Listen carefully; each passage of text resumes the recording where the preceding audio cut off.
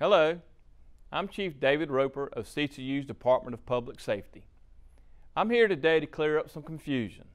A while back, when Hurricane Matthew threatened the area, the governor declared an evacuation. As a result, we had to close campus. We sent out notifications to the university community through emails, text, and social media, alerting everyone that campus was closed. But some people came to campus anyway. So let me be perfectly clear. When the university communicates that campus is closed, it means just that.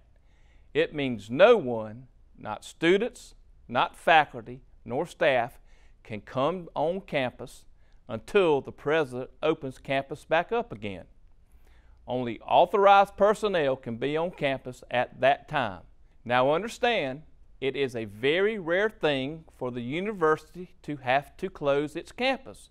When this happens, it is done for everyone's safety and is usually the result of some kind of emergency or severe weather event.